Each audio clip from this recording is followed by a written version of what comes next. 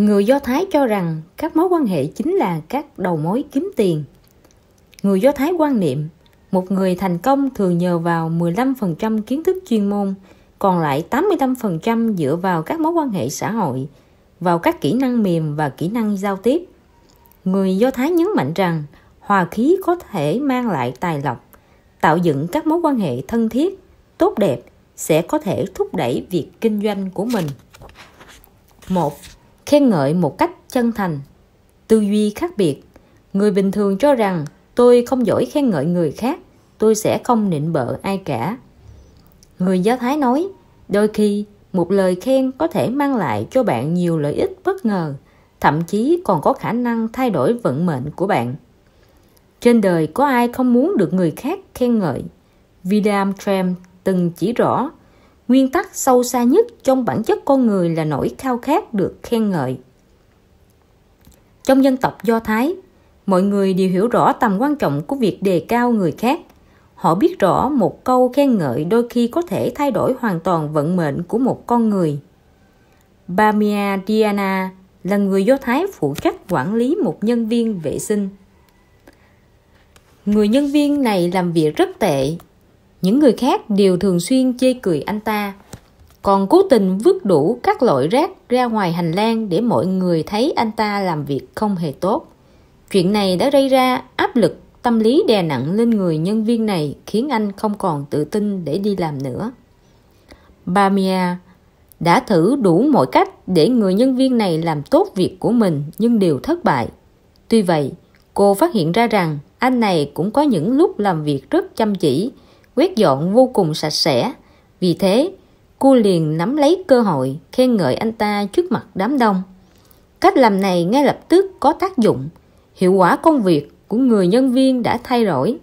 Không lâu sau, vì làm việc tốt nên anh ta được tất cả mọi người khen ngợi. Bramia đã tìm ra cách tốt nhất để khích lệ người khác. Sau đó cô lại thử khen ngợi và khích lệ những người còn lại. Kết quả thu được cũng vô cùng tốt. Khi đó, cô đã thực sự nhận ra rằng việc phê bình và cười chê chỉ khiến sự việc thêm xấu đi. Trái lại, những lời khuyên chân thành sẽ mang lại kết quả tốt nhất. Darren là người rất biết cách sử dụng lời khen ngợi khi giao tiếp với người khác. Có lần, một đồng nghiệp đọc một bản báo cáo trong cuộc họp của công ty. Báo cáo của anh ta rất tầm thường, nên khi đọc xong chẳng có ai vỗ tay tán thưởng. Sau khi tan họp, Darren gặp người đồng nghiệp trong nhà vệ sinh. Anh bèn nói rằng báo cáo khi nãy của anh rất tốt, đơn giản và ngắn gọn. Tôi đánh giá rất cao đấy. Vị đồng nghiệp này vốn dĩ không hề hy vọng bản báo cáo của mình sẽ được mọi người chú ý. Nhưng chỉ vài câu nói của Darren lại khiến anh ta mừng thầm trong lòng suốt cả ngày. Bất cứ ai từng giao tiếp với Darren đều nhanh chóng trở thành bạn của anh. Darren cũng thường đánh giá cao đồng nghiệp mình. Thấy đồng nghiệp nam mặc áo mới, anh sẽ khen bâng quơ. Wow, đẹp trai thế. Gặp đồng nghiệp nữ mới đổi kiểu tóc, anh cũng cố tình mở thật to mắt khen. Hóa ra là em à, anh cứ tưởng mỹ nhân nào cơ chứ. Có thể tưởng tượng ra Ranh có mối quan hệ rất tốt với đồng nghiệp trong công ty. Đồng thời những mối quan hệ tốt đẹp này cũng đem lại cho anh nhiều điều thuận lợi. Có lẽ ai cũng đã hiểu rõ tác dụng của lời khen ngợi. Tuy nhiên, một sự thật khá thú vị, người ta ai cũng thích nghe người khác khen mình, nhưng không phải ai cũng muốn khen người khác. Tại sao vậy? Nguyên nhân sâu xa của việc nhiều người không thích khen người khác là vì họ sợ phải chịu trách nhiệm đạo đức cho những lời khen này. Bởi vì trong lòng mỗi người, chủ động khen ngợi người khác tuy có thể đạt được một số lợi ích nhưng cũng thường bị xem là một hành vi lợi dụng hoặc thậm chí là hành vi của kẻ tiểu nhân. Chỉ có tiểu nhân mới luôn đi nịnh bợ tân bốc người khác như vậy.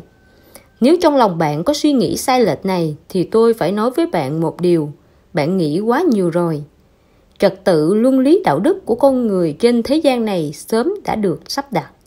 Để theo đuổi mối quan hệ xã hội hòa hợp vui vẻ, con người đã sớm xem những lời khen như một phương pháp được sử dụng phổ biến và phù hợp trong giao tiếp xã hội ở cuộc sống hàng ngày. Dù cho bạn không thích khen người khác, thì người khác cũng sẽ vẫn cứ khen bạn. Nhìn từ góc độ này, bạn cũng nên khen lại người ta mới phải đạo một khi bạn đã nhận được lời khen người khác vậy thì hãy học hỏi nghệ thuật trao đi những lời khen những người do thái thành đạt đã chỉ ra cho chúng ta thấy khi khen ngợi người khác bạn cần chú ý một số điểm sau. Thứ nhất, tìm những điểm có thể khen ngợi từ người đó. Mỗi người đều có những sở trường hoặc có những ưu điểm của riêng mình. Có một số người rất kiệm lời khen. Một trong những nguyên nhân chính yếu là bởi họ không thấy được điểm đáng khen ngợi nơi đối phương. Kỳ thực, chỉ cần quan sát cẩn thận và tỉ mỉ, bạn sẽ dễ dàng phát hiện ra những điểm đáng khen. Thứ hai, lựa chọn thời gian thích hợp để đưa ra lời khen trong giao tiếp, rất cần sự chân thành. Vì thế hãy cẩn thận, nắm đúng thời cơ. Lời khen đúng người, đúng lúc là điểm mấu chốt. Khi bạn nhìn thấy được điểm đáng biểu dương của người khác, cần nhanh chóng và mạnh dạn đưa ra lời khen. Tuyệt đối đừng để lỡ cơ hội tốt này. Khi người khác đạt được thành công, hãy dành cho họ một lời tán dương giống như thiêu hoa trên gấm. Lời tán dương đó sẽ đánh giá ngàn vàng vào thời điểm đó, tâm trạng của họ đang vô cùng vui vẻ, thoải mái. Nếu lại được nghe thêm một số lời khen chân thành, thì tâm trạng của họ sẽ lên mây. Thứ ba, khen ngợi cũng cần đúng mực. Việc nắm được chừng mực khi đưa ra lời khen sẽ ảnh hưởng trực tiếp tới hiệu quả của nó. Lời khen đúng mực, đúng đối tượng mới được coi là lời khen chân chính. Lạm dụng lời khen, tân bốc quá mức nịnh nọt tới mức sáo rỗng sẽ chỉ khiến người nhận được lời này trở nên mất tự nhiên, thậm chí thấy khó chịu. Khi đó, kết quả sẽ trái với mong đợi. Bởi vậy, tuyệt đối không nên lạm dụng lời khen. Bởi một khi khen ngợi trở thành lời nịnh nọt, người khen sẽ không đạt được gì. Ngược lại, sẽ phải nhận lấy quả đắng, bị rơi vào những tình huống ngượng ngùng mất mặt. Thứ tư chỉ có lời khen chân thành, xuất phát từ tấm lòng mới thể hiện được sức cuốn hút và giá trị của nó. Trước tiên, bạn nên khen ngợi những gì mà người khác có là cái thật sự tồn tại, chứ đừng nên nói tới những điều không có thật. Người do thái thường nói với nhau rằng, sự khen ngợi đúng mực có thể mang tới cho con người niềm vui vô tận, khiến người khác được khích lệ.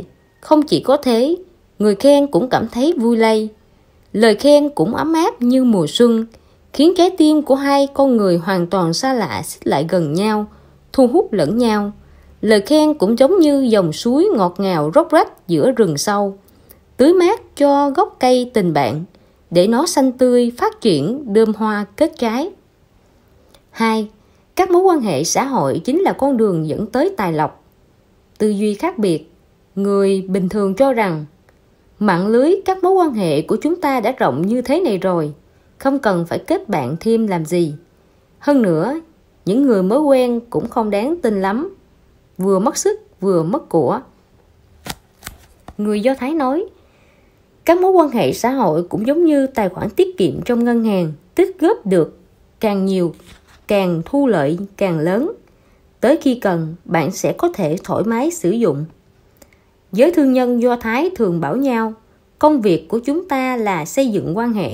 Các mối quan hệ cần được đầu tư dài hạn không ngừng kết nối và bồi dưỡng mới có thể hình thành. Nếu bạn chỉ liên tục rút ra để sử dụng chứ không chịu tích góp thì sẽ có ngày bạn sử dụng hết số tài sản tích góp trong tài khoản. Để công việc được tiến hành thuận lợi và trôi chảy, bất cứ thương nhân nào cũng đều phải đầu tư cho các mối quan hệ. Chúng ta không thể biết trước khi nào việc kinh doanh của chúng ta sẽ gặp khó khăn trắc trở. Vì thế, không ngừng thiết lập các mối quan hệ chính là đang đầu tư cho những việc mình làm. Biết đâu, những mối quan hệ có được sẽ giúp ích cho bạn. Vào một lúc nào đó, sự thành công của một thương nhân đa phần đều bắt nguồn từ thành công trong các tình huống xã giao. Có thể nói, các mối quan hệ xã hội chính là tài lộc. Ludwig Mond là một con người hiếm gặp trong giới doanh nhân ngành công thương nghiệp Do Thái. Ông không dựa vào các kỹ năng về tài chính mà hoàn toàn dựa vào kiến thức chuyên môn của bản thân để theo đuổi ngành này. Louis mon sinh năm 1839 tại Kaiser, Đức. Lúc đó chuyển tới Anh sinh sống. Khi còn là học sinh, Ông có khoảng thời gian cùng làm việc với nhà hóa học nổi tiếng Robert Bunsen tại trường đại học hay Delbert Mon đã từng tìm ra phương pháp chích luyện lưu huỳnh từ chất thải kiềm. Ông mang theo phương pháp này tới Anh, trải qua bao khó khăn trắc trở, mới tìm được một công ty đồng ý hợp tác với mình để cùng phát triển phương pháp này. Kết quả đã chứng minh sáng chế này của ông rất có giá trị kinh tế. Sau này, rất nhiều công ty ở Anh và các nước châu Âu khác đều xin phép được sử dụng phương pháp của ông. Việc này khiến Louis Mon nảy sinh ý định mở công ty hóa chất cho riêng mình. Louis Mon mua phương pháp dựa vào tác dụng của ammonia để khiến muối chuyển hóa thành sodium bicarbonate. Bản thân ông cũng tham gia quá trình phát minh ra phương pháp này, nhưng lúc đó vẫn chưa thể sử dụng thành thạo. Louis Mon mua một mảnh đất ở Winnington, Chelsea để xây dựng xí nghiệp. Một dân trong vùng lo sợ nhà máy hóa chất sẽ phá hoại môi trường sinh thái nên phản đối ông xây dựng xí nghiệp ở đó, cũng từ chối không làm việc cho ông. Lewis Mon bất đắc dĩ phải thuê người Ireland. Trong thời gian xây dựng xí nghiệp, ngày nào ông cũng tới tận nơi giám sát, thường xuyên thúc giục công nhân làm việc. Câu cửa miệng của ông là không cần gọi tôi là ngài, tôi không phải quý ông. Louis Mon vừa xây nhà xưởng vừa tiến hành thí nghiệm để hoàn thiện phương pháp kia. Sau lần đầu tiên thất bại, ông liền ở luôn trong phòng thí nghiệm, làm việc ngày đêm không ngừng nghỉ. Sau bao lần thí nghiệm, cuối cùng ông cũng giải được bài toán hóc búa. Dù vậy, ông vẫn luôn lo lắng sẽ có vấn đề xảy ra. Dù chỗ ở chỉ cách nhà máy vài trăm mét, nhưng ông vẫn luôn gắn một chiếc chuông lên cửa sổ phòng ngủ dùng một sợi dây thừng dài nối thẳng tới nhà máy để đề phòng ban đêm có việc cần công nhân có thể nhanh chóng đánh thức ông dậy. Năm 1874, nhà máy của ông đã được hoàn thành. Tình hình sản xuất ban đầu không mấy khả quan, chi phí sản xuất rất cao, nhà máy hoàn toàn thua lỗ. Thế nhưng Louis Mon không hề nản chí, vẫn tiếp tục cố gắng. Cuối năm 1880, nhà máy đã có sự đột phá lớn, sản lượng tăng lên gấp 3 lần, chi phí cũng giảm đi đáng kể. Ban đầu mỗi tấn sản phẩm lỗ 5 bản, nay lời một bản. Năm 1881, sau khi sát nhập với một công ty đối thủ cạnh tranh, Louis Mon cùng đối tác kinh doanh của mình là John Runner cùng nhau mở rộng nhà máy, thành lập công ty Runner Mon. Lúc đó, công ty có số vốn trên danh nghĩa là 600.000 bảng Anh. Chỉ vài năm sau, Runner Mon trở thành công ty hóa chất sản xuất kiềm lớn nhất trên thế giới, đồng thời đã đạt được bước đột phá lớn trong công nghệ sản xuất kiềm. Tuy nhiên, mọi người cho rằng những thành tựu mà công ty này gặt hái được trong việc cải thiện mối quan hệ lao động lại mang tính cách mạng hơn so với những thành công trên phương diện công nghệ. Tại Anh, Họ là công ty đầu tiên mỗi năm cho công nhân hưởng kỳ nghỉ phép có lương kéo dài một tuần. Nhưng với một điều kiện, công nhân phải làm việc thật chăm chỉ. Thực tế, có đến 42% công nhân đã giành được kỳ nghỉ phép này. Từ đó cho thấy, tuy điều kiện của họ hơi cao, nhưng tuyệt đối không phải là không đạt được. Năm 1889, công ty Runner Mon lại đưa ra một quyết định quan trọng Quy định thời gian làm việc của công nhân mỗi ngày là 8 tiếng. Ở nước Anh thời đó, các nhà máy xí nghiệp thường quy định thời gian làm việc là 12 giờ mỗi ngày. Mỗi tuần công nhân phải làm việc tới 84 giờ. Vì thế, quyết định cho hai của hai người được xem là sự thay đổi khiến mọi người phải kinh ngạc. Sự thật đã chứng minh trong vòng 8 giờ, công nhân hoàn thành khối lượng công việc tương đương với 12 giờ. Nguyên nhân là vì tính tích cực và lòng nhiệt tình hăng hái của họ đã gia tăng đáng kể. Có được kết quả tốt đẹp, vẹn cả đôi đường như vậy, chính là nhờ biết cách suy xét vấn đề từ cả góc độ con người và sự vật, giúp cho thương nhân Do Thái luôn đạt được sự hòa hợp thống nhất mà mọi người luôn theo đuổi. Lúc này, thái độ của cư dân trong vùng cũng thay đổi rõ rệt. Những người ban đầu luôn căm ghét Lewis Mon đã phá hoại sự yên tĩnh của quê hương họ nên từ chối làm việc cho công ty này. Về sau lại tranh nhau xin vào làm việc. Làm việc trong nhà máy của công ty Brennan sẽ có được sự bảo đảm trọn đời. Hơn nữa, sau khi người cha nghỉ hưu, người con sẽ được truyền lại công việc của cha mình theo kiểu cha truyền con nói vậy. Lewis Mon lúc đó đã vô cùng giàu có và thành công, danh tiếng vang lừng. Đại học Heidelberg, cái nôi của cuộc đời nghiên cứu hóa học của Lewis Mon, đã trao tặng cho ông bằng tiến sĩ danh dự. Ông cũng đảm nhiệm chức chủ tịch Hiệp hội Công nghiệp Hóa học, trở thành thành viên của Hội Hoàng gia, Viện Khoa học Russell, Hoàng gia Naples. Bên cạnh đó, ông còn được chính phủ Italy trao huân chương danh dự. Thế nhưng, so với thái độ khoan dung của dân chúng đối với vụ nổ nghiêm trọng do con trai ông gây ra về sau, thì những vinh dự này đều không đáng kể.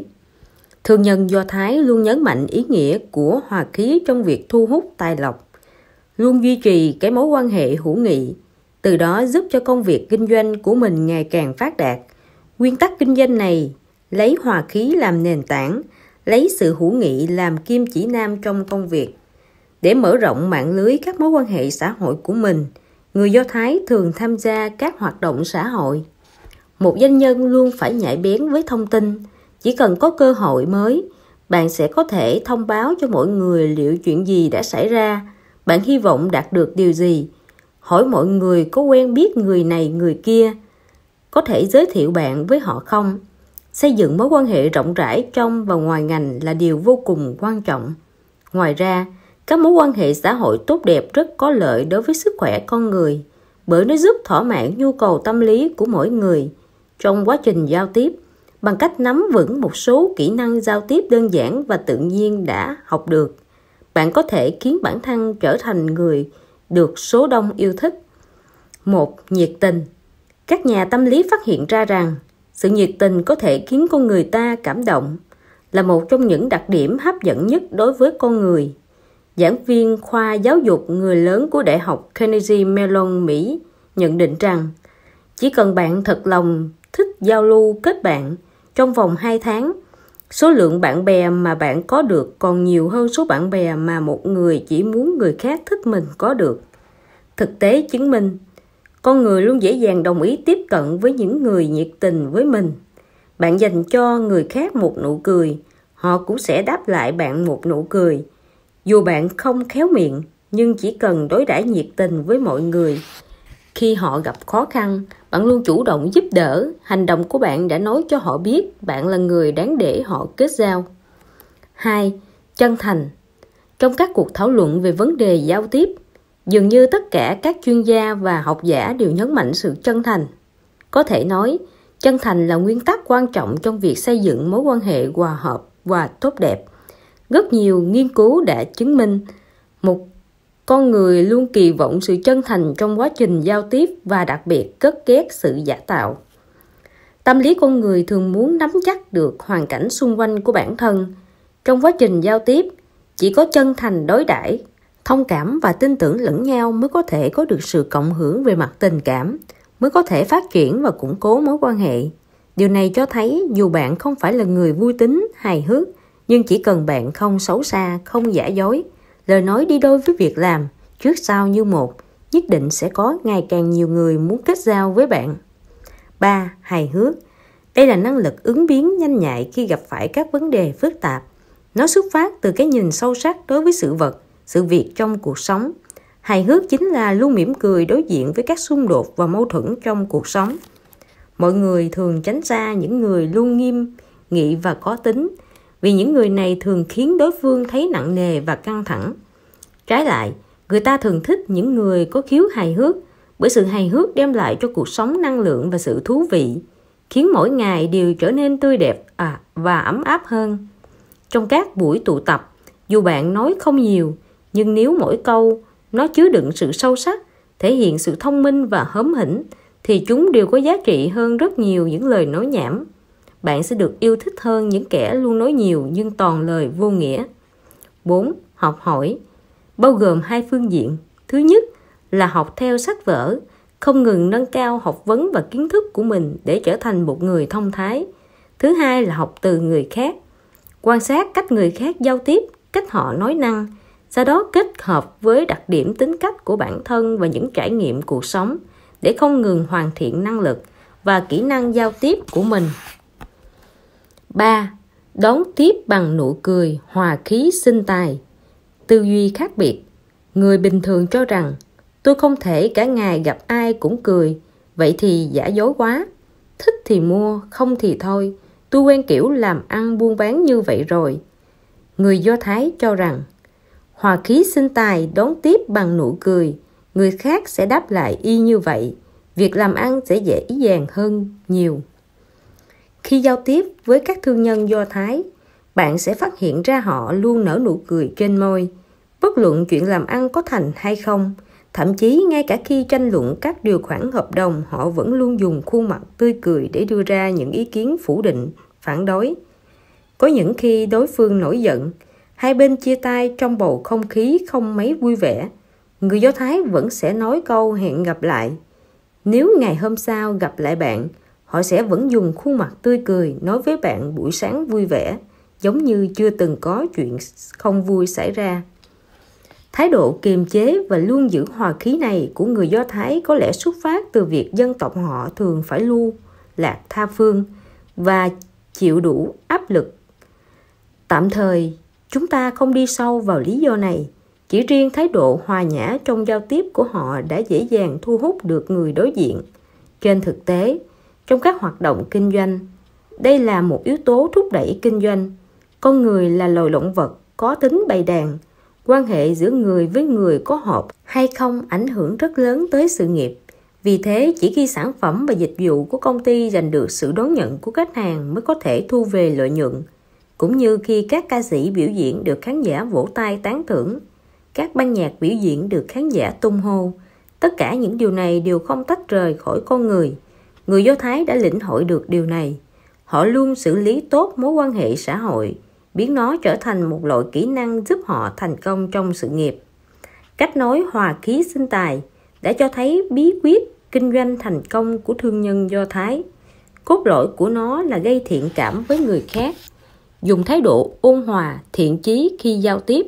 Làm như vậy, người khác cũng sẽ đối xử với bạn y như vậy. Việc làm ăn sẽ dễ dàng thành công hơn. Dưới đây là kinh nghiệm của một người khi sống cùng người Do Thái. Ở Nam Phi, có vô số các đại lý bán xe để thúc đẩy việc kinh doanh.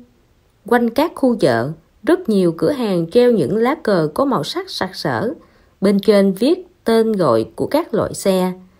Chúng tôi tới đại lý bán xe HITE ở Roma, cách sân bay Johannesburg chỉ vài phút đi xe. Do vị trí địa lý thuận lợi, thị trường nơi đây rất sôi động. Khi chúng tôi vừa vào tới cửa, một cô gái da đen xinh đẹp liền bước tới đón tiếp. Sau khi biết được ý định của chúng tôi, cô bảo chúng tôi ngồi chờ một lát, sau đó mời giám đốc tới. Giám đốc của họ là một người đàn ông trung niên da trắng, dáng người cao ráo, với đôi mắt màu xanh dương, mũi hơi khoằn, mái tóc màu nâu sẫm được chải ngược ra phía sau, mang lại cho người đối diện ấn tượng về sự thông minh và từng trải. Sau khi trao đổi danh thiếp, tôi mới biết đó là Tổng Giám đốc, tiến sĩ Jeff. Jeff nói, tôi sinh ra tại Jerusalem, là người Do Thái. Tôi theo học và lấy học vị tại Anh, sau đó tới Nam Phi. Cũng được 10 năm rồi. Người Do Thái, tôi bất giác nghĩ tới câu nói đầu óc của người Do Thái, miệng lưỡi của người Ả Rập, đôi tai của người Trung Quốc. Trong bầu không khí vui vẻ hòa hợp, chúng tôi bắt đầu hiểu rõ về nhau hơn. Jeff nói, là một người kinh doanh có trình độ, cần biết cách phát hiện từng cơ hội làm ăn dù là nhỏ nhất, sau đó nỗ lực nắm bắt, xử lý thật tốt, biến nó thành sự khởi đầu của một công việc kinh doanh. Biết chúng tôi là người châu Á, Jeff nói, nếu người châu Á có thói quen xem mặt, đón người, thì người Nam Phi thường xem xe để đón người. Đúng thật là một thương nhân Do Thái. Vừa cười vừa nói chuyện, vòng vo tam quốc, nói đi nói lại bao nhiêu chuyện. Dù đi một vòng trái đất thì cuối cùng vẫn quay trở lại chuyện mua xe.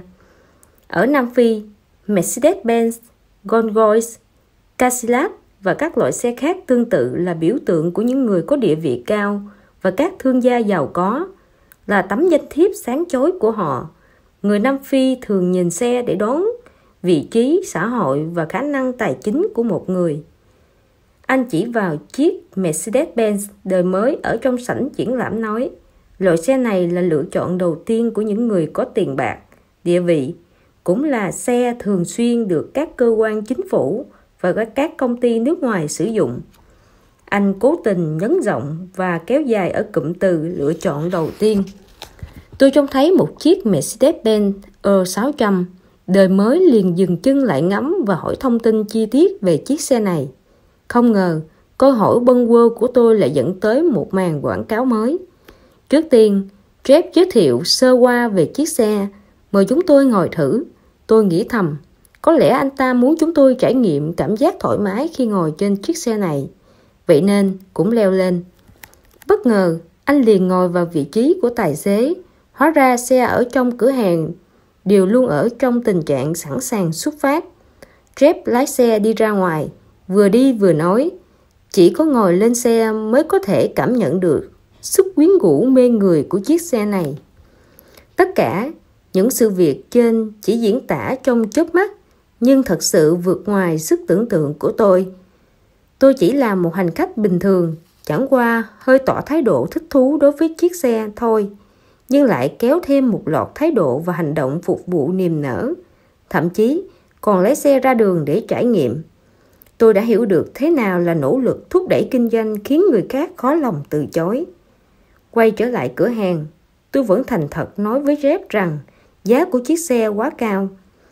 Jeff đưa chúng tôi tới trước một chiếc BMW, nói So với Mercedes-Benz, BMW càng giúp bộc lộ cá tính và sở thích của người lái xe. Tốc độ vẫn có thể đạt tới trên 200 km trên giờ. Thấy chúng tôi không có ý muốn mua xe hãng này, anh lại giới thiệu cho chúng tôi đủ các loại xe Audi, Opel, Volkswagen của Đức và General Auto Ford của Mỹ. Anh nói, các loại xe này có số tự động và số sàn. Xe số tự động khá thuận tiện, không cần dùng tay điều khiển số. Đặc biệt khi tắt đường, có rất nhiều ưu điểm. Nếu lắp thêm điện thoại cho xe, sẽ có thể một tay lái xe, một tay bấm điện thoại. Tôi nhớ tới hành động mẫu anh vừa làm, đó chính là một chiếc xe tự động. Chớp mắt 2 giờ đồng hồ trôi qua, tôi nói cần về nhà bàn bạc. Jeff lại cố gắng mời chúng tôi ở lại dùng bữa. Sao được chứ? Xe còn chưa mua. Hơn nữa, có mua ở đây không? Còn chưa quyết định. Sao có thể ăn không của người ta thế chứ? Tôi kiên quyết ra về. Jeff vừa thành khẩn vừa thật tâm nói. Mua hay không không quan trọng. Chúng ta gặp nhau coi như là một mối duyên, coi như bạn bè đi. Lời nói chân thành như vậy, nhiệt tình như vậy, làm sao có thể từ chối. Chúng tôi đành thuận theo chủ nhà, theo Jeff tới một quán ăn gần đó. Trong lúc dùng bữa, Jeff nói với chúng tôi, công ty của anh ta có tất cả 6 cửa hàng ở Nam Phi, phân bố tại các thành phố như Johannesburg, Caperton, Durban. Là một tiến sĩ, sao anh lại kinh doanh xe hơi? Tu Bân Quơ hỏi về vấn đề này. Kiếm tiền, Jeff vô tư trả lời. Chọn ngành buôn bán xe hơi chính là chọn làm ăn với người giàu. Chỉ có làm ăn với người giàu mới giúp tôi kiếm được nhiều tiền. Tôi mở to mắt nhìn anh chầm chầm, như thể muốn nuốt chọn từng từ trong cái lý luận thú vị này. Hiện nay, trong giới kinh doanh thường hay lưu truyền cái gọi là phương pháp kinh doanh của người Do Thái. Thật ra, bất luận là phương pháp gì, nó cũng chỉ là một số nguyên tắc và thủ thuật.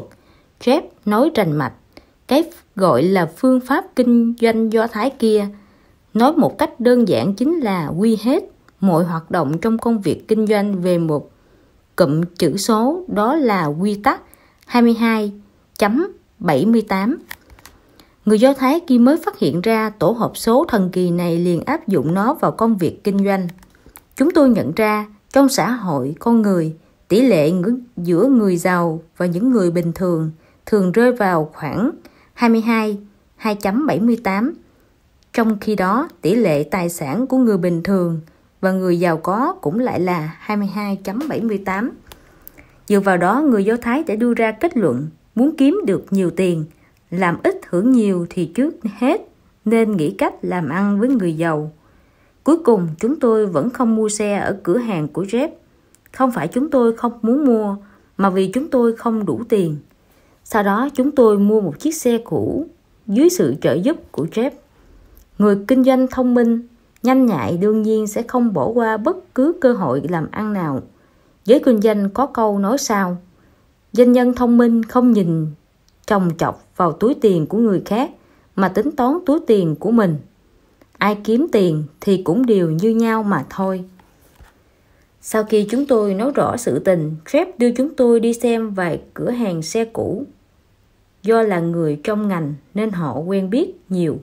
Chúng tôi chỉ bỏ ra 15.000 trăng, tương đương 100 triệu đồng, đã mua được một chiếc BMW khá tốt.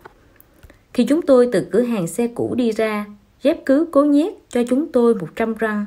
Nhưng chúng tôi không lấy, anh nói, chiếc xe này dù giá không cao, nhưng theo quy định, họ vẫn gửi tôi tiền hoa hồng. Đây chính là quy tắc trong ngành của chúng tôi.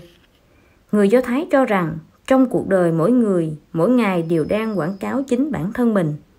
Loại quảng cáo này chỉ quảng cáo sáng kiến, kế hoạch, khả năng, sự phục vụ trí tuệ và thời gian của bản thân. Nếu có thể quảng cáo thành công bản thân, người đó chắc chắn sẽ thành công và đạt được mục tiêu của chính mình. Ngược lại, những người kinh doanh thất bại phần lớn là do không biết cách quảng cáo bản thân chứ không phải do vấn đề từ năng lực bản thân cái gọi là quảng cáo bản thân chính là khả năng giao tiếp vui vẻ hòa hợp với mọi người nghiên cứu của các nhà tâm lý kết luận con người luôn muốn được người khác chú ý coi trọng và tiếp nhận bất luận là người thế nào chỉ cần là con người thì đều có loại mong muốn này người do thái dựa vào quy tắc này trong cuộc sống hàng ngày, bao gồm cả quá trình kinh doanh, họ chú ý tới các loại người xung quanh mình, khiến những người đó thấy được họ đang quan tâm tới mình, tiếp nhận mình bắt đầu từ bước chân đầu tiên đó đi lên những nấc thang của thành công và tiến tới mục tiêu 4. Nụ cười là tấm danh thiếp tốt nhất Thượng Đế ban tặng cho chúng ta. Tư duy khác biệt. Người bình thường cho rằng cười thì có tác dụng gì chứ, có đổi thành tiền được không? Quan trọng nhất vẫn là kiếm được tiền. Người Do Thái nói, nụ cười là thứ vũ khí có sức công phá rất lớn. Thà dùng một người không có bằng đại học, nhưng lại có một khuôn mặt luôn tươi cười niềm nở, vẫn hơn một học giả với bộ mặt lạnh lùng khó chịu. Người Do Thái có câu rất giống với ý như sau. Một nụ cười bằng 10 thang thuốc bổ. Không chỉ thế, nụ cười còn được xem như một loại vũ khí lợi hại. Thậm chí, đôi khi nụ cười còn có tác dụng lớn hơn tiền bạc. Giám đốc nhân sự của một công ty bán lẻ lớn tại New York nói Tôi thà tuyển dụng một người phụ nữ dù chưa học hết cấp 3 Nhưng cô ấy luôn tươi cười rạng rỡ Còn hơn tuyển một tiến sĩ triết học với vẻ mặt đăm đăm khó chịu Đa phần người Do Thái đều có cách đánh giá giống nhau về nụ cười Bất luận trên thương trường hay trong cuộc sống hàng ngày Họ đều cho rằng Nụ cười là tấm danh thiếp tốt nhất Thượng Đế ban tặng cho con người. Họ từng nói, một nụ cười có thể làm bừng sáng cả bầu trời. Khi đối diện với người khác, hãy dành cho họ một nụ cười, họ sẽ tặng lại cho bạn tình hữu nghị. Bạn chẳng mất gì nhưng vẫn nhận lại được món quà tặng quý giá, đó là tình bạn. Kỳ thực, giá trị lớn lao nhất của nụ cười nằm ở chỗ, nó không đòi hỏi bất kỳ chi phí nào, nhưng lại vẫn mang về rất nhiều thành quả. Vào thời khắc bạn nở một nụ cười, nó đã tạo ra ký ức khó quên với mọi người. Đối với người thân, nụ cười mang lại niềm vui. Đối với công việc, nụ cười mang lại ấn tượng tốt. Giữa bạn bè, nụ cười vun đắp tình bạn. Đối với những người mệt mỏi, nụ cười chính là sự thư giãn. Đối với những người đang buồn rầu chán nản, nụ cười giống như hương hoa thơm ngát. Với người đang đau khổ, nụ cười như ánh dương bừng sáng. Đối với tất cả mọi người, nụ cười chính là phương thuốc tốt nhất để điều chỉnh tâm trạng. Vì thế người ta hay nói, cười không mất gì nhưng lại tạo ra được rất nhiều giá trị. Cười có thể mang lại sự giàu có chứ không bao giờ khiến chúng ta nghèo đi. Conrad Hilton là người Na Uy gốc Do Thái di cư tới Mỹ. Tháng 1 năm 1919, cha của Hilton qua đời vì tai nạn xe hơi. Gánh nặng kinh tế gia đình dồn hết lên vai ông. Ông quyết tâm tới bang Texas để lập nghiệp, trở thành một chủ ngân hàng. Ông muốn mua lại một ngân hàng, nhưng giám đốc ngân hàng đó ra giá 75.000 đô la Mỹ. Ông lại chỉ có 5.000, chỉ là con số lẻ của mức giá yêu cầu. Không ngờ hai ngày sau, Giám đốc ngân hàng kia không giữ chữ tín, lại tăng giá lên 80.000. Hilton rất tức giận. Ông tìm tới một khách sạn tên My Pilai để nghỉ ngơi, nhưng khách sạn đã hết chỗ. Có điều, chỉ một câu than vãn về việc kinh doanh của vị giám đốc khách sạn đã khơi dậy trí tưởng tượng của Hilton. Vậy anh là chủ của khách sạn này hả? Ông hỏi dồn. Đúng vậy, chủ khách sạn trao mài. Cái khách sạn này thật phiền phức. Lẽ ra tôi nên sớm bỏ đi. Mới phải. Cuối cùng, Hilton mua lại khách sạn này với giá 40.000 đô la. Bản thân ông chỉ có 5.000. Số còn lại đều đi vai. Sau vài năm làm việc chăm chỉ, sự nghiệp của Houston phất lên như diều gặp gió. Khách sạn của ông đã thu được 51 triệu đô la Mỹ. Ông vui mừng hớn hở và tự hào khoe thành tích này với mẹ mình. Sau khi nghe xong, mẹ ông bình thản nói, theo mẹ thấy, con có gì khác trước kia đâu. Nếu muốn làm nên đại sự, con cần phải nắm được thứ còn giá trị hơn 51 triệu đô la này. Đó là gì vậy mẹ? Ngoài việc thành thật với khách hàng, con còn phải nghĩ cách làm sao để mỗi vị khách bước vào khách sạn của mình đều muốn quay lại lần hai. Con cần nghĩ ra một cách đơn giản, dễ dàng, không cần tốn chi phí nhưng lại có hiệu quả để thu hút khách hàng. Như vậy khách sạn của con mới có tương lai. Lời khuyên của mẹ ông rất đơn giản nhưng lại khiến Houston suy ngẫm rất nhiều. Đơn giản, dễ dàng, không tốn chi phí nhưng lại có hiệu quả. Đó rút cuộc là bí quyết gì? Cuối cùng Hilton cũng nghĩ ra, đó là hòa khí sinh tài. Dùng cung cách phục vụ kèm nụ cười trên môi chắc chắn sẽ có tác dụng. Ngày hôm sau, việc đầu tiên Houston làm sau khi tới khách sạn chính là gọi tất cả nhân viên tới, giải thích cho họ nghe về ý tưởng của mình. Tươi cười, nhớ rõ nhé, hôm nay tiêu chí duy nhất để tôi kiểm tra công việc của mọi người chính là bạn đã cười với khách chưa? Ông tiến hành tu sửa, cải tạo và trang trí lại khách sạn, nâng cao bầu khí tiếp đón của khách sạn dựa vào bí quyết. Hôm nay bạn đã cười với khách chưa? Khách sạn của ông nhanh chóng trở nên nổi tiếng. Đầu óc Houston lại thôi thúc ông đến với công việc kinh doanh mới. Muốn xây dựng một khách sạn lớn mang tên ông với tất cả trang thiết bị hạng nhất, khách sạn Houston. Ngày 4 tháng 8 năm 1925, khách sạn Dallas Hilton khởi công trang thiết bị hạng nhất, nụ cười hạng nhất, con đường hòa khí xanh tài của Hilton ngày càng rộng mở. Năm 1929, khách sạn Dallas Hilton được hoàn thành. Chính vào lúc này, một cuộc khủng hoảng kinh tế với quy mô tương đối lớn trong lịch sử nước Mỹ đã nổ ra. Không bao lâu sau, 80% nhà hàng khách sạn trên toàn nước Mỹ phải đóng cửa. Khách sạn Hilton cũng lâm vào tình thế khó khăn. Làm thế nào để chiến thắng cuộc khủng hoảng? vượt qua cửa ải khó khăn này, nụ cười còn có tác dụng nữa không? Có người đã đặt ra câu hỏi như vậy. Hilton vẫn giữ vững phương châm. Hôm nay bạn đã cười với khách chưa? Chạy vải khắp nơi, động viên, khích lệ nhân viên, phấn chấn tinh thần cùng nhau vượt qua dông tố. Dù khó khăn vất vả thế nào cũng phải kiên trì với phong cách phục vụ nụ cười hạng nhất. Ông không nề hà dặn đi dặn lại nhân viên, tuyệt đối không được để tâm trạng ủ dột của mình bộc lộ qua nét mặt. Bất luận phải đối diện với khó khăn thử thách nào, trên khuôn mặt nhân viên của khách sạn Hilton luôn phải là nụ cười rạng rỡ dành cho khách hàng. Phương châm của Hilton trở thành phương châm của mỗi nhân viên khách sạn. Nhân viên phục vụ của Hilton luôn giữ trên môi nụ cười hạng nhất, khiến khách hàng khắp nơi ai nấy đều hài lòng. Nhờ đó, Hilton đã thuận lợi thoát khỏi những thời điểm khó khăn nhất của năm 1933, dần bước chân vào những tháng ngày hoàng kim. Sau đó Hilton lại mua tiếp hai khách sạn khác, đồng thời cho lắp đặt thêm nhiều thiết bị cao cấp. Trong lần khảo sát tình hình khách sạn kế đó, Hilton hỏi nhân viên của mình, mọi người nghĩ còn cần lắp đặt thêm gì không? Các nhân viên không biết phải trả lời thế nào, hiển nhiên là thấy mọi điều kiện đều đã rất tốt rồi. Houston cười nói, còn thiếu nụ cười hạng nhất. Nếu là tôi, chỉ có những trang thiết bị cao cấp nhất mà không có nụ cười hạng nhất, thì tôi thà đi tới mấy khách sạn khác. Tuy thảm trải sạn cũ một chút, nhưng khắp nơi đều có thể nhận được nụ cười rạng ngời. Trang thiết bị hạng nhất, nụ cười hạng nhất để giúp sự nghiệp của Houston ngày càng thăng hoa rộng mở. Tháng 5 năm 1946, Houston thành lập tập đoàn khách sạn Houston. Năm tiếp theo, công ty chính thức lên sàn chứng khoán New York. Đây cũng là tập đoàn khách sạn đầu tiên tung cổ phiếu lên thị trường chứng khoán. Trong năm đó, mẹ Houston qua đời khiến ông đau buồn, thương tiếc khôn nguôi. Tại New York, danh hiệu khách sạn nữ hoàng thuộc về khách sạn Waldorf Astoria với quy mô lớn nhất, sang trọng nhất, tráng lệ nhất thế giới lúc bấy giờ. Từ nguyên thủ của các quốc gia cho tới những người giàu có minh tinh, ai cũng coi đó là thánh địa mesca Trong lòng, rất nhiều người tới ở. Trước khi mẹ ông qua đời, ông đã hứa với mẹ nhất định sẽ mua lại khách sạn này. Lời hứa này đã thực thực hiện vào ngày 12 tháng 10 năm 1949. Những năm 50 của thế kỷ 20, Houston vẫn chưa thấy hài lòng với việc chỉ phát triển sự nghiệp trong phạm vi nước Mỹ. Ông lại bắt đầu xây dựng đế chế khách sạn của mình trên toàn thế giới.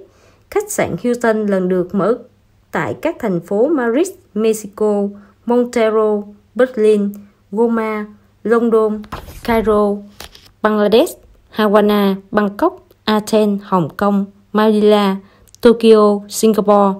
Cho tới cuối những năm 70 của thế kỷ 20, đã có gần 100 khách sạn Hilton được mở tại các thủ đô, thành phố trên khắp thế giới. Khi Hilton trở thành ông vua khách sạn của thế giới, ông sở hữu số tài sản kết xù lên tới hàng chục tỷ đô la Mỹ. Ông vẫn kiên trì đáp máy bay tới từng nơi trong đế chế Hilton của mình để kiểm tra, giám sát. Nếu có cảm hứng sẽ lập tức ghi chép lại để viết sách. Cuốn sách Be My Rest của ông luôn được các nhân viên của Hilton coi như kinh thánh. Nội dung trọng tâm nhất của cuốn sách chính là thiết bị hạng nhất, nụ cười hạng nhất. Năm 1979, Conrad Hilton qua đời ở tuổi 92, để lại chuỗi khách sạn Hilton với thiết bị hạng nhất, nụ cười hạng nhất trải rác khắp nơi trên thế giới. Nụ cười là loại ngôn ngữ đẹp nhất trong cuộc đời con người. Biểu hiện nét mặt của mỗi người luôn quan trọng hơn quần áo và trang sức của họ.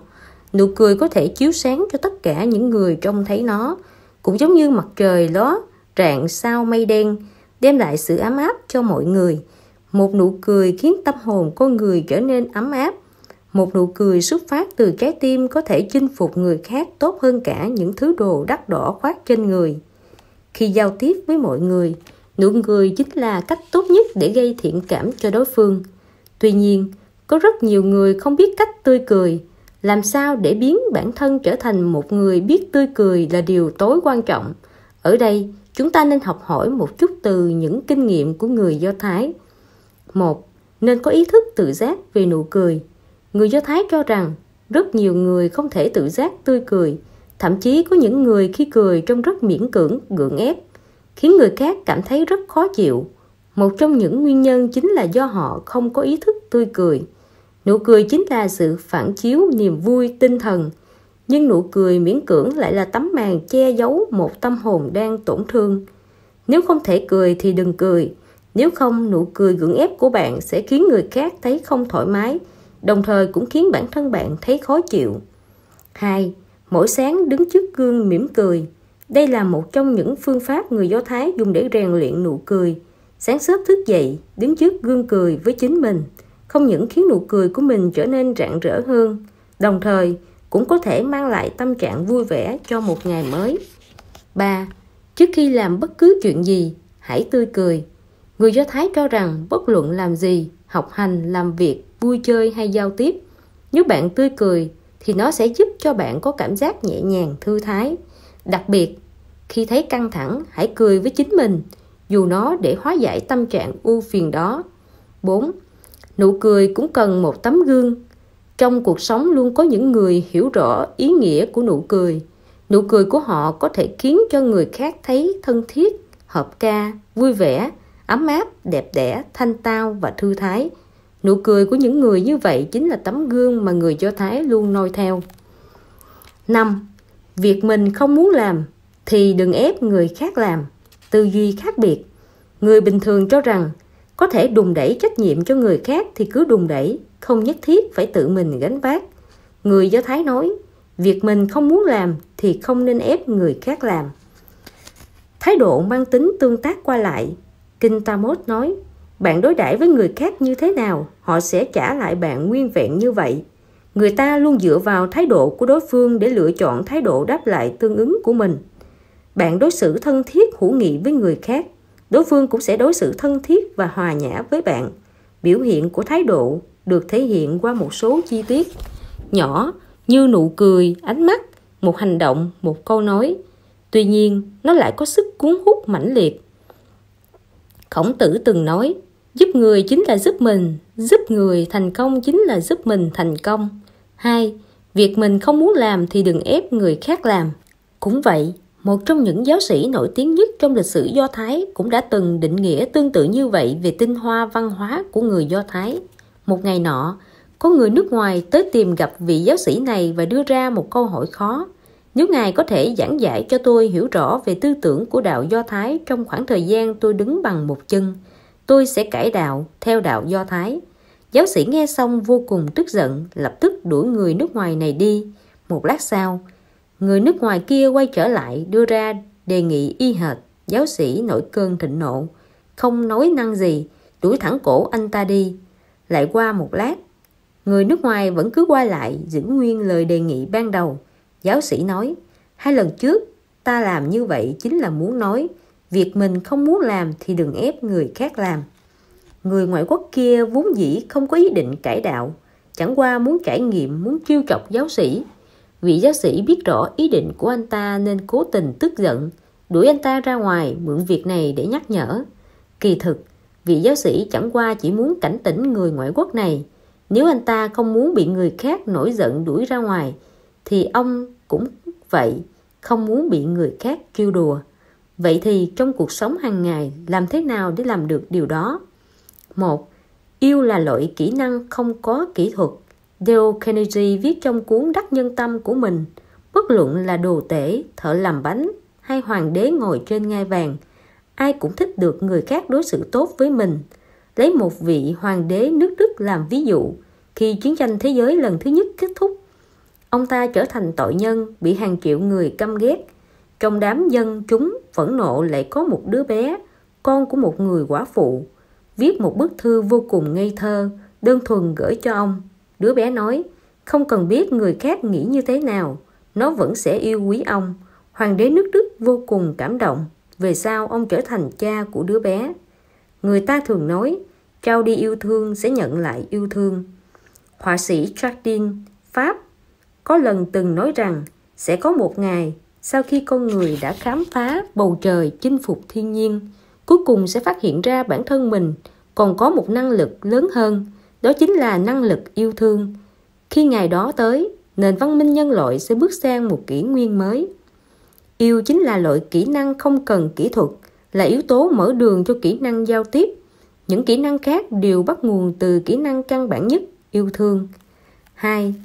Tình thương là một tấm ngân phiếu. Thành công của mỗi con người đều được xây dựng trên cơ sở giúp đỡ người khác. Tập thói quen vui vẻ giúp đỡ người khác sẽ mang lại nhiều cơ hội và không gian để phát triển bản thân. Vô tình giúp đỡ một người nào đó, đôi khi lại có thể nhận được một sự hồi đáp vượt ngoài sức tưởng tượng. Cuốn tiểu thuyết ăn khách của Mỹ Bố già có nhắc tới câu chuyện như sau. Con gái một ông chủ nhà tang lễ bị người ta cưỡng hiếp và đánh đập, nhưng phán quyết của tòa án lại chẳng gây khó dễ gì cho tên tội phạm. Trong tình huống kêu trời không thấu, ông chủ nhà tang lễ miễn cưỡng đi tìm ông trùm Don Fiston Corleone giúp đỡ. Corleone không mãi mai do dự. Ra mặt giúp đỡ ông ta trả thù, cũng không cần ông trả công. Sau này, ông chủ nhà tang lễ chính là người đã giúp đỡ lại Corleone trong thời khắc quan trọng nhất. Có thể thấy, giúp người chính là giúp chính mình. Tình người chính là tấm ngân phiếu, tích góp càng nhiều thì thu về càng nhiều. Muốn mở rộng học hỏi kỹ năng giao tiếp, trước hết hãy vui vẻ giúp đỡ người khác. Đối xử thân tình hòa nhã với người khác. Thái độ chính là khuynh hướng tâm lý của con người đối với sự vật, là hạt nhân của thế giới nội tâm. Không có sự thay đổi thái độ bên trong sẽ không có sự thay đổi bên ngoài.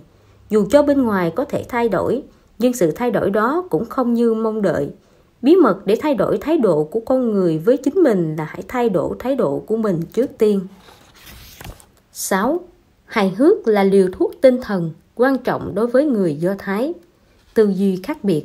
Người bình thường cho rằng hiện tại tôi đã phải đối mặt với rất nhiều khó khăn rồi. Làm gì còn tâm trạng mà hài hước chứ? Việc vốn cần làm lúc này là tìm cách giải quyết các khó khăn mà thôi. Người Do Thái nói, hài hước có tác dụng không gì thay thế được, cần xem nó như món ăn tinh thần. Con người ai có thể đối bụng mà làm việc chứ? Trong mắt thương nhân Do Thái, khiếu hài hước là đặc điểm mà chỉ những kẻ mạnh mới có được. Do đó, họ rất coi trọng sự hài hước, bởi đó chính là yếu tố mạnh nhất trong số những khả năng của con người. Tục ngữ Do Thái có câu, mũ trên đầu tên trộm trái rồi.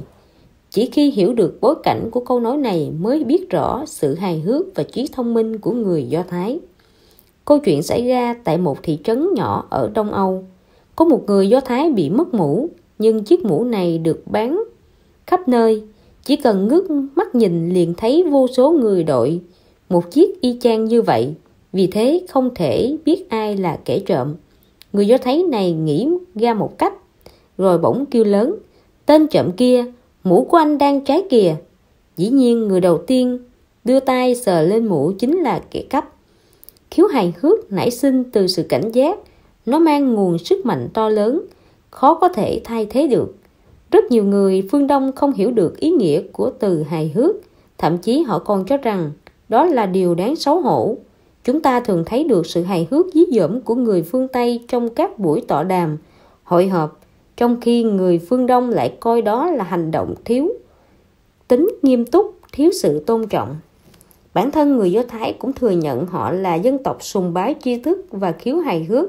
Họ coi tri thức như vốn liếng cho sự sinh tồn, còn khiếu hài hước lại là món ăn tinh thần hết sức quan trọng.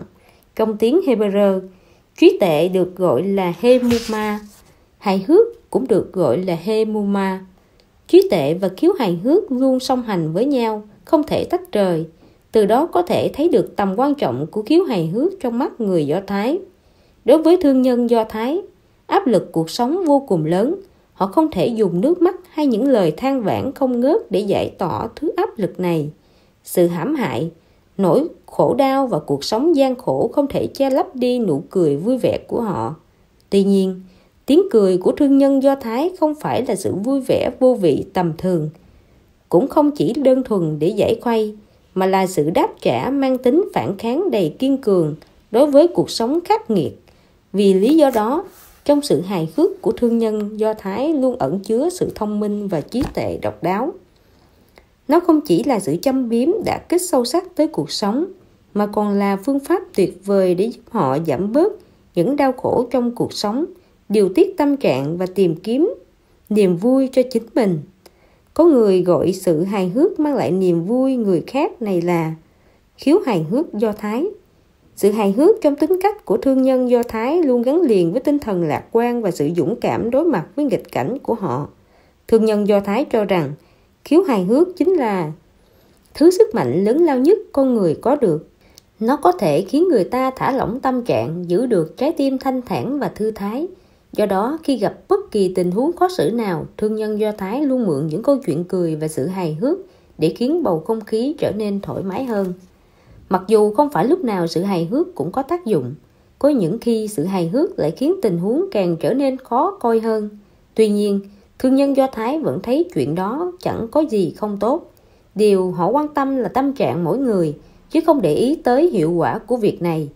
Vì thế, thương nhân Do Thái nói, chỉ cần là sự hài hước đều sẽ khiến con người ta thả lỏng tâm trạng và chỉ có người thông minh mới có thể giữ được tâm trạng bình thản, thoải mái ở bất cứ tình huống nào. Bất cứ sự việc nào cũng đều cần giữ ở chừng mực thích hợp. Sự hài hước cũng vậy. Trong cuộc sống hàng ngày, vận dụng yếu tố hài hước một cách chừng mực mới có thể khiến mối quan hệ trở nên thân thiết, hòa hợp hơn. Điều này càng được thể hiện rõ nét hơn trong kỹ năng hài hước. Người Do Thái đưa ra hai lời khuyên trong việc sử dụng yếu tố hài hước.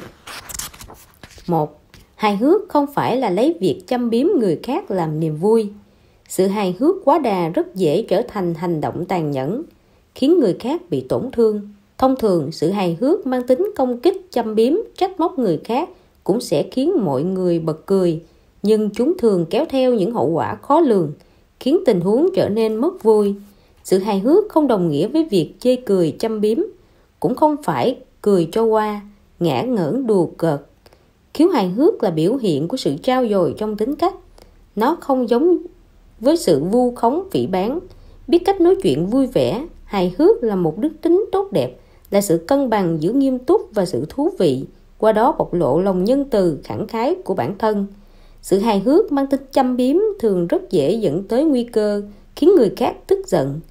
Do đó, khi sử dụng yếu tố hài hước để phê bình người khác, chúng ta nên kiểm tra kỹ lưỡng trước khi nói cũng như trước khi hành động để tránh việc người nhận những lời phê bình hài hước này cảm thấy bị tổn thương xúc phạm. 2. Những trò chơi khăm đôi khi có thể tạo ra sự hài hước nhưng lúc sử dụng nhớ chú ý chừng mực. Chơi khăm thoạt nhìn tưởng chừng không phải việc vi phạm pháp luật nhưng nếu phân tích ý thức tiềm tàng của nó, bạn sẽ phát hiện ra yếu tố công kích và thù ghét ở trong đó. Những trò chơi khăm quá đáng thực sự gây tổn thương rất lớn đến người khác. Vì thế, chơi khăm chỉ nên giới hạn ở mức độ đùa vui thuần tí. Cũng chỉ có như vậy mới không làm tổn thương tới lòng tự tôn của người khác. Chơi khăm mang thiện chí sẽ có khả năng đem tới không khí vui vẻ, tươi mới cho cuộc sống hàng ngày. Nhưng trò chơi khăm mang ý xấu bẩn cợt, người khác lại khiến mọi người căm ghét, ảnh hưởng tới các mối quan hệ bạn bè.